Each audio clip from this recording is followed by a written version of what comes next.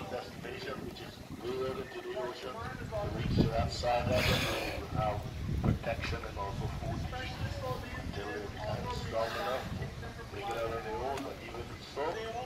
once they started to get on their own, they would still have a slight chance because of the size of the animal. So we take them, we put them what you call a starter there, we take them straight to that sargassum, release them in there, and like you said, we know how much we're coming down.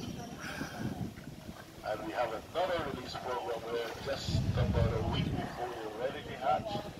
we take several boxes from the hatchery take it down on the beach, dig a hole in the sand like they normally would, place the eggs in that, and we'll have some of our crew watch those nests for a week. And Then at night, when that time is up,